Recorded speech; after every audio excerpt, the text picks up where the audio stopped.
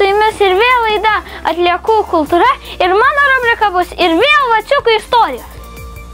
Nepaslaptis, kad augindami vaikus kasdien sukame galvą, kaip kuo mažiau pirkti ir kuo ilgiau naudoti tai, ką jau turime.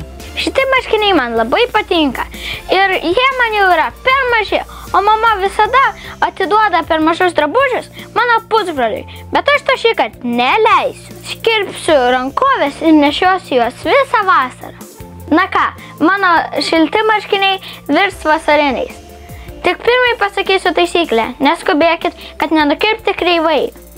Amžina kova su išauktais rūbais atrodo niekada nesibaigs. Va. Savo mylimus marškinius vaciukas nešios dar vieną vasarą, o tai reiškia, kad tikrai nepirks naujų. Oho, kokie patogus. Net nesitikėjau, kad tokie bus.